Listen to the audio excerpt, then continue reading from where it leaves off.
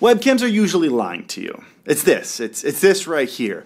But it works, and they know it works because the best lies are the ones with just a little bit of truth in them. The first thing a webcam company will tell you is that it's 4K. Why? Because more pixels equals better picture, right? Wrong. I've tried over 50 webcams as a tech YouTuber, and I can tell you that the 4K is probably the least important thing about that webcam. Take a look at this test that I did on TikTok a while back. I asked people to guess which one was 720p and which one was 4K, and most people, here, just freeze real quick on the frame. Most people got it wrong, but when I told people which was which, everyone accused me of lying or manipulating the images. It's because there are two things way more important than 4K. It's having natural colors and something called dynamic range, or how well it handles light parts and dark parts. Here, I'll show you.